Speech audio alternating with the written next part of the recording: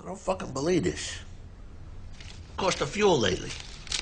My boat, 120 gallons of diesel an hour. I go out fishing, cost me a thousand bucks. You don't even like fish that much. Coffee? Oh, no thanks, son.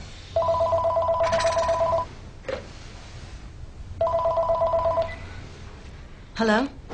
You there? Hold on. Uh, hon, we're gonna be on speaker now, so.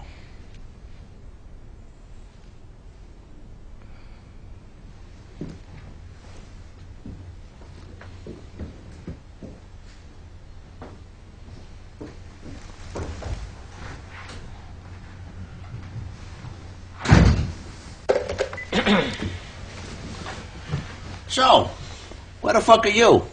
It's not important. Who else is there? So, you take a powder, you forget all your responsibilities. What the fuck am I supposed to think about that? Under the circumstances, I felt it was the wisest thing to do. For everybody. Was I wrong? I'm not gonna lie to you. Some of our friends are not very happy. There's a certain sense of betrayal. But I talked to them, Calm them down. Things are gonna be okay. They are? But there's some lost revenue you're gonna have to make up. And maybe it'd be wise to relocate for a while. One thing's for certain, you reestablish relations with your wife. Have another kid. Show people you know where to put your dick.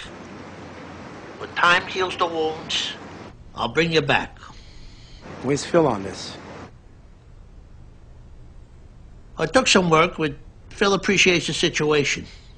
Look, I went out on a limb for you here. Don't make me look like a jerk off. Are you there? I'll think about it.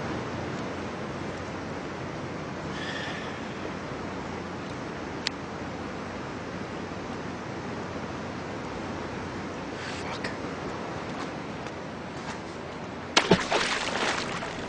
Vito,